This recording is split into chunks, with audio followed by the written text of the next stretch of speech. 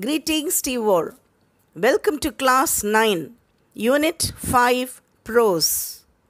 Water, the Elixir of Life, written by Sir C.V. Raman. Guided reading. Read the lesson, Water, the Elixir of Life, on the importance of water, an important natural resource. Man has through the ages sought in vain for an imaginary elixir of life, the divine Amrita, a draught of which was thought to confer immortality. But the true elixir of life lies near our hands, for it is the commonest of all liquids, plain water. I remember one day standing on the line which separates the Libyan desert from the valley of the Nile in Egypt. On one side was visible a sea of billowing sand without a speck of green or a single living thing anywhere in it. On the other side lay one of the greatest, most fertile, and densely populated areas to be found anywhere on the earth, teeming with life and vegetation. What made this wonderful difference? Why is the water of River Nile flowing down to the Mediterranean from its sources a couple of thousands of miles away? Geologists tell us that the soil of the Nile Valley is the creation of the river itself, brought down as the finest silt in its floodwaters from the highlands of Abyssinia and from remote Central Africa and laid down through the ages in the trough through which the Nile flows into the sea. Egypt, in fact, was made by its river. Its ancient civilization was created and is sustained by the life giving waters which come down year after year with unfailing regularity. I give this example and could give many others to emphasis that this common substance which we take for granted in our everyday life is the most potent and the most wonderful thing on the face of our earth. It has played a role of vast significance in shaping the course of the Earth's history and continues to play the leading role in the drama of life on the surface of our planet. There is nothing which adds to so much to the beauty of the countryside as water, be it just a little stream trickling over the rocks or a little pond by the wayside where the cattle quench their thirst of an evening. The rain fed tanks that are so common in South India, alas, often so sadly neglected in their maintenance, are a cheering sight when they are full.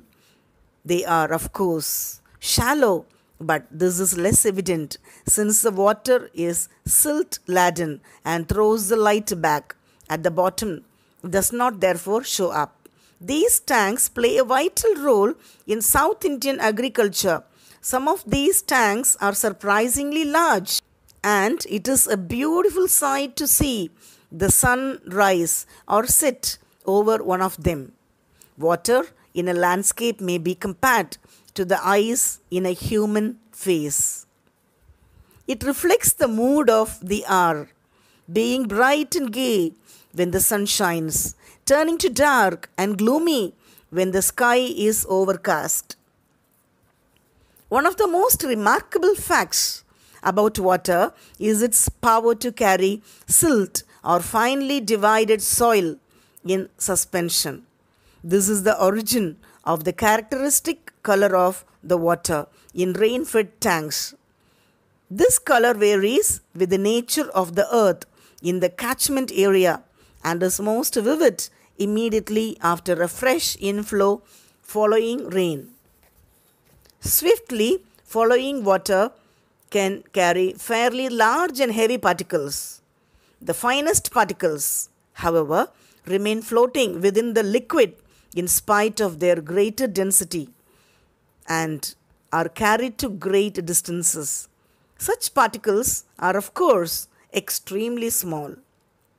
But their number is also great, and incredibly large amounts of solid matter can be transported in this way. When silt laden water mixes with the salt water of the sea, there is rapid precipitation of the suspended matter. This can be readily seen when one travels by steamer down a great river to the deep sea. The color of the water changes successively from the muddy red or brown or silt through varying shades of yellow and green, finally to the blue of the deep sea. The great tracts of land have been formed by silt thus deposited is evident on an examination of the soil in alluvial areas. Such land consisting as it does of finely divided matter is usually very fertile. The flow of water has undoubtedly played a great part and a beneficent one in the geological process by which the soil on the earth's surface has been formed from the rocks of its crust.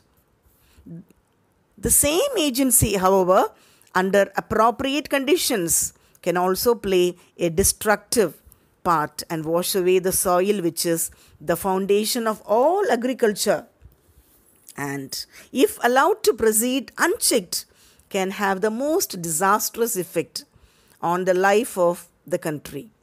The problem of soil erosion is one of the serious import in various countries and especially in many parts of India.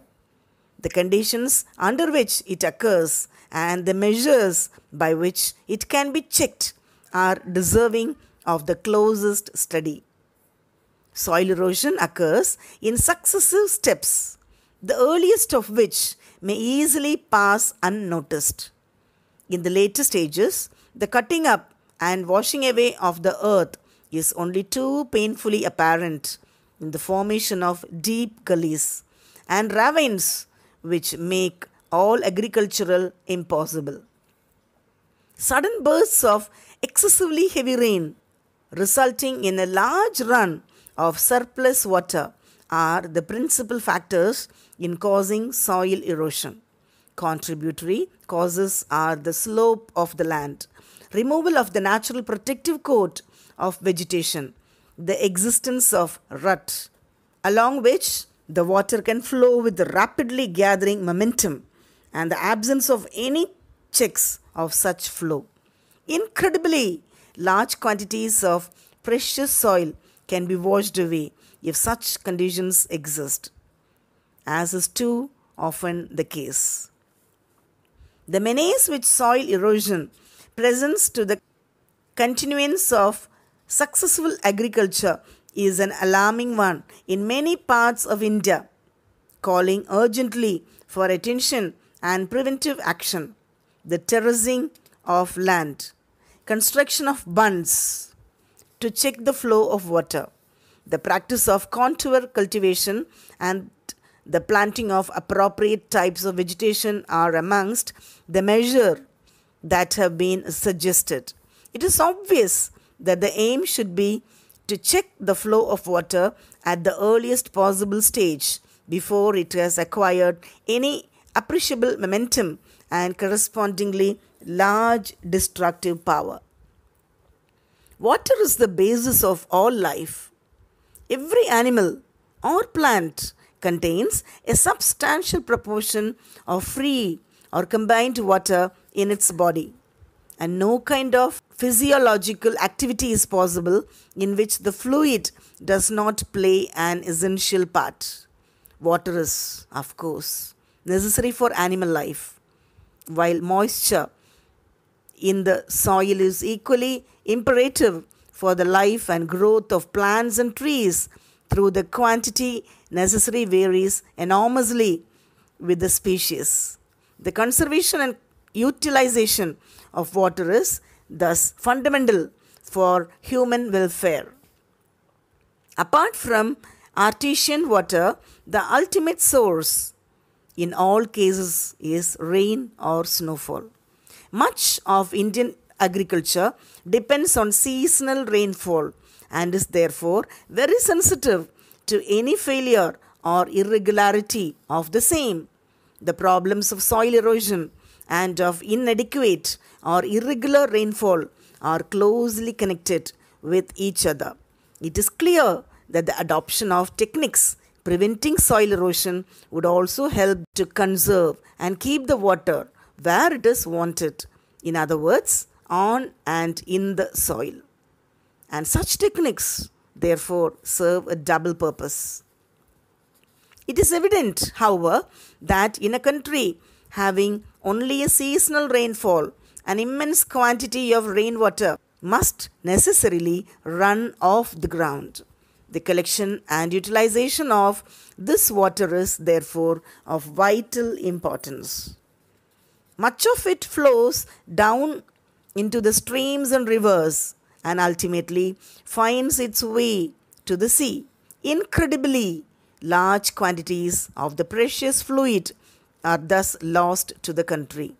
The harnessing of our rivers, the water of which now mostly run to waste, is a great national problem which must be considered and dealt with on national lines. Vast areas of land, which at present are mere scrub jungle, could be turned into fertile and prosperous country by courageous and well planned action. Closely connected with the conservation of water supplies is the problem of afforestation the systematic planting of suitable trees in every possible or even in impossible areas, and the development of what one can call civilized forest, as distinguished from wild and untamed jungle, is one of the most urgent needs of India. Such plantation would directly and indirectly prove a source of untold wealth to the country. They would check soil erosion and conserve the rainfall of the country and flowing away to waste and would provide the necessary supplies of cheap fuel and thus render unnecessary the wasteful conversion of farmyard manure into a form of fuel. The measures necessary to control the movement of water and conserve the supplies of it can also serve subsidiary purposes of value to the life of the countryside. By far, the cheapest form of the internal transport in a country is by boats and barges through canals and rivers. We hear much about programs of rails and road constructions but far too little about the development of internal waterways in India. Then, again, the harnessing of water supplies usually also make possible the development of hydroelectric power. The availability of electric power would make a tremendous difference to the life of the countryside and enable rural economy to the improved in various directions. In one sense, water is the commonest of liquids. In other sense, it is the most uncommon of liquids with amazing properties which are responsible for its unique power of maintaining animal and plant life. The investigation of the nature and properties of water is therefore of the highest scientific interest and is far from exhausted field of research. Do you know the Great Pacific Garbage Patch? It is the world's largest collection of floating trash. It is in the Pacific Ocean between Hawaii and California and is often described as larger than Texas. Approximately 7 million tons of plastic and other debris up to 9 feet deep are floating. By estimation, 80% of the plastic originates from land, floating in rivers to the ocean, and the remaining 20% of the plastic originates from oil platforms and ships. These trash piles are the biggest threats to the sea animals. A few words about the author. Sir Chandrasekhara Venkataraman, 7th November 1888 to 21. November 1970 was an Indian physicist born in Tiruchirappalli. He carried out groundbreaking work in the field of light scattering, which earned him the 1930 Nobel Prize for Physics.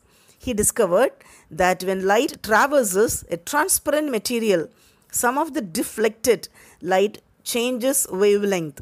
This phenomenon, subsequently known as Raman scattering, results from the Raman effect and to commemorate it, February 28 is celebrated as National Science Day. In 1954, India honored him with its highest civilian award, the Bharat Ratna. Glossary Elixir, a hypothetical substance believed to maintain life indefinitely, a substance believed to cure all ills. Billowing, characterized by great swelling waves or surges. Teeming, abundantly filled, especially with living things.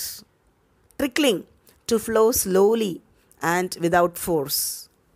Precipitate, a solid substance that is produced from a liquid during a chemical process. Crust, a hard outer covering of something. Catchment, a structure such as a basin or a reservoir used for collecting or draining water. Barges, a long boat with a flat bottom used for carrying freight on rivers.